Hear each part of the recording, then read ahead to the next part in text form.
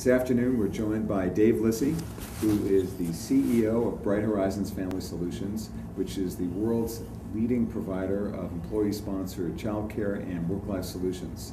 Dave, it's great to have you here. Thanks for joining us. It's good to be here, Stu. I'd like to start with just a, a quick introduction from you as to what your company's about and what you do on a daily basis as a CEO. What's, what's your current role and responsibilities? Well, great. Uh, at Bright Horizons, um, our business is to partner with leading employers of all kinds to develop on site or work site child care centers and offer solutions that help their employees better integrate the challenges of work and life. And we do that across 43 states here in the U.S., um, also in the U.K., Ireland, Canada, and on the island of Puerto Rico. Uh, so, in my role as CEO leading the company, we employ about 18,000 people um, across those four countries. And uh, we've tried over the years to uh, position ourselves as the leader in our field, uh, one that has a reputation for quality and a culture that is the employer of choice for people in our field to want to pursue a career. So, you know, I spend my time um, doing a variety of things um, that include traveling to, you know, visit our clients and, and see our employees who are located, as I said, throughout the world now um, as well as you know any number of you know functional tasks that might take up my time when I'm when I'm in our home home office up in Boston. You've been in your role for five years. It'll be seven years in November. Okay, right. let's start with looking forward. As, yeah. you, as you look to the future of Bright Horizons Family Solutions and um, the environment that it, it, you're, you're currently facing, what do you see as the most important leadership challenges you face? Well, you know, we, we've grown up over the course of, and, I, and I've been with Bright Horizons about half of its existence. So um, the company is about 21, 22 years old, mm-hmm. and um, I joined them halfway through. Um, and so we've really grown up over the years and grown the organization, um, particularly over the course of the past 10 years, pretty considerably. So, more than anything, I look at my leadership challenge as the ability to cultivate leaders as we grow who can keep our culture alive. Um, we really, you know, we are, I mean, I, I, suppose it's cliche these days to say we are our people, but we don't make anything. We're a human service um, delivery company who, who earns its reputation every day by being able to employ uh, and, and motivate and retain, you know, talented people in our centers across the world, and then people who lead them at various levels, and then people who lead others trying to grow our business um, with employers. So one of the key linchpins to our you know, our, I, I think our success and, and our future is our ability to create what I call ambassadors of our mission people who um, can, uh, you know, for whom what we've done really resonates and they, they develop a sense of uh, loyalty and commitment to it and, and want to go ahead and inspire and lead others. Because, you know, what you find is when, you, when you're a smaller company, you can actually be in front of many more people on a regular basis as the leader of the company. But as you grow and expand like we have, um, the challenge really is not necessarily, yeah, sure, there's those opportunities to give those, uh, those, those speeches where you have a chance to make an impact, but really um, you're touching others through layers of others.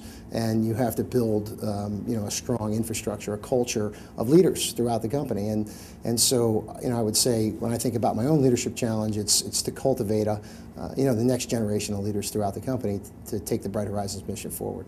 I'd like to hear more about how you're doing that. But before we get to that, uh, it, it, occurs to me that what Roger Brown and Linda Mason uh, and, uh, did when, when they hired you was this was pretty much the same thing, right? They're the, the legendary founders of, of your company. Right. And uh, you know they established a certain kind of value system and, and way of operating uh, in the world and in, internally that uh, clearly was very important to them. And full disclosure, by the way, I've been on the advisory board of Bright Horizons Family Solutions for about 10 years or so. so in, in, good service. Uh, well, thank you. I appreciate yes. that. And it's always, always a treat being with uh, your amazing company and hearing about the incredible things that you're doing.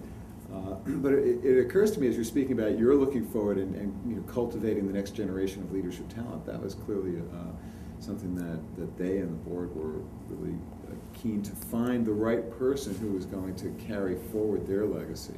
So, can you tell us a little about how that all unfolded and how how it came to be that the fit was was right and that, that you saw them and they saw you as the, the right person to as I reflect back on sort of my history, um, there's sort of you know how the connection was made and then how it, how it went from there.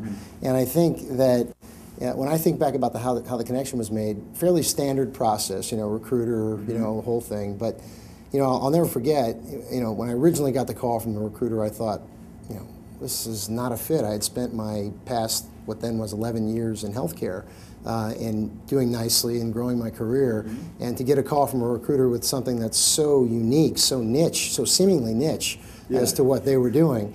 And so, you know, really, I went to the first meeting thinking this is going to be an hour sort of cordial thing, you know, neat thing, get to know somebody neat.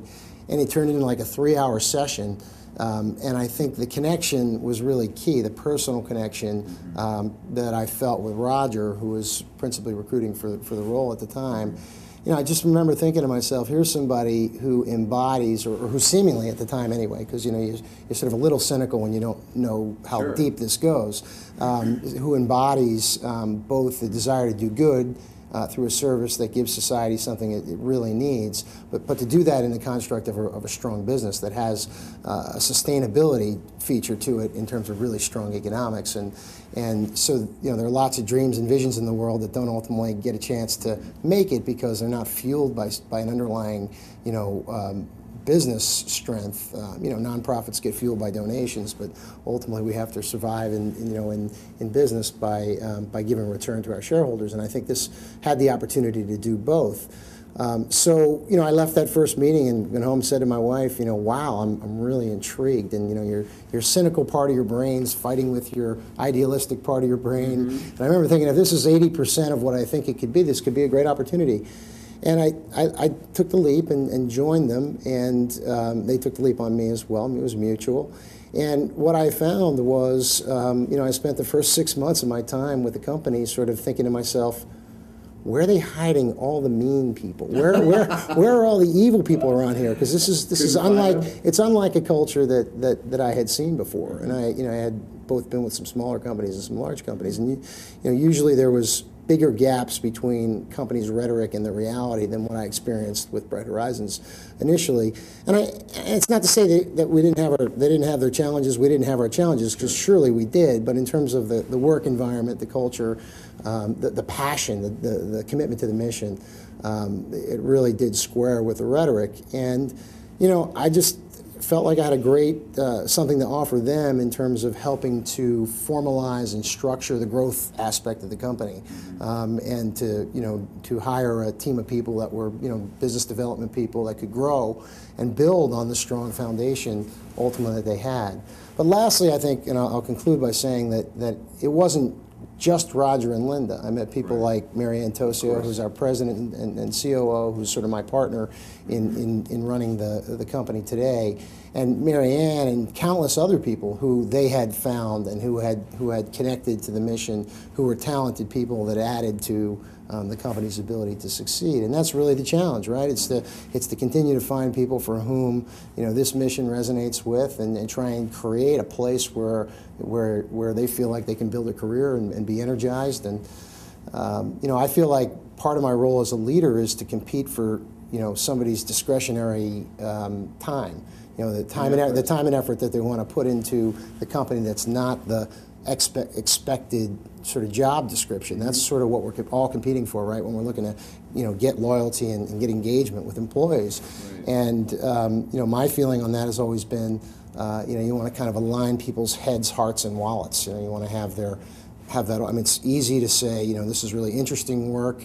Um, this is work that compensates me in a way that's fair to me, and it's it's something that I'm really into from the point of view of where my heart is. And, and if you can get those three things in balance, um, then you really have something. And, and that's what we've tried to strive for at Bright Horizons. So, as you, back to the question about uh, developing leadership talent for the future and continuing to find and, and, and cultivate the kinds of people who are going to represent the mission uh, and to, to grow uh, the company, what are you doing to, uh, to make that happen, to realize that, that goal? Well, let, let me start by saying when I first took on this role, um, I was fortunate in the sense to not only have, as you acknowledged, really talented visionary people who founded the company, but a leader in Roger who was sort of egoless with respect to the transition of leadership, which I think, as I was looking at it at the time, people were kind of giving me advice was pretty rare in the world. That the that the leader who was transitioning, I had been told by many people who've gone through it, you know, would, would be in the way. the would be the founder, founder, right? Would, would be in the way. And that wasn't the case. I think Roger tried very hard and, and still is one of my most significant advisors, you know, to be a part of the solution, not a part of the problem. And I think it has a lot to do with his intelligence and his, his emotional intelligence and his and his and his um, you know his uh, his sort of lack of ego as it relates to any of this. But but that said, when Mary Ann and I, who I again consider to be my partner in running the company, when we when this whole transition was happening, we said to ourselves, part part of our main job, part of my main job was to take what had been lots of sort of informal practices, largely on the backs of very visionary founders who were able to win loyalty by virtue of who they were and their sort of uh, deity like their, their, their sort of their, their positioning in the world world of our field and create some structure to it. So we started, we embarked, I'll give you some examples. So we, we embarked right away uh, in the first year, and this has become a tradition, on what we call our annual road trip. So every year, uh, Mary Ann and I go out and we meet, and we'll start um, next week in Chicago with our 2008 version. We don't sell T-shirts, but we we, uh, we do have a full road trip. There is not a and CD there's, there's no CDs. Uh, you wouldn't want to hear me sing, but um, but uh, we go out and we meet with hundreds of our managers all throughout the countries in which we operate in. You know, in town hall like forums to basically you know listen to them. And every year we take away a few things that are the common themes that we hear in the field. I think it accomplishes a couple things. One, I think it accomplishes a connection between between that skips sort of um, management layers and gets us down to our first line managers who are really critical and allows them to have a connection to us, which we've gotten very positive feedback about. But for us, it allows us to make some tangible uh, change that is directly coming from the feedback that we're getting from our first line managers.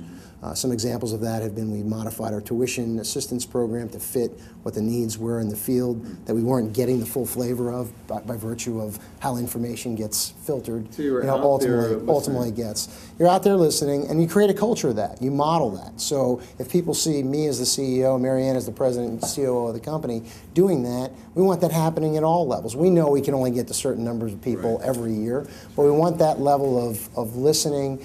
We want people to not, you know, I, I want people to not get hung up on hierarchy you know, to sort of skip levels when necessary to be sure they're getting information. I think leaders oftentimes get, you know, I find myself sometimes the bigger we get, you know, if I don't keep multiple channels of information open, Sure. I get, I get, you know, what people want to tell me, and that's dangerous. Uh, it's dangerous for lots of leaders in, in positions of far Yeah. greater influence than, than, than me. So um, I think I think that's what uh, you know what we've tried to do is create that you know create that culture of um, of listening and of um, of humble sort of nobody's nobody's too high up or too high of a title um, to listen or get involved at any at any level. Um, sort of a, a bit of a sort of servant leadership, you know, kind of kind of not servant in the sense of religious or anything like that, but in terms of um, you know serving our our our clients and our families. We're all in that together, and uh, we have common challenges.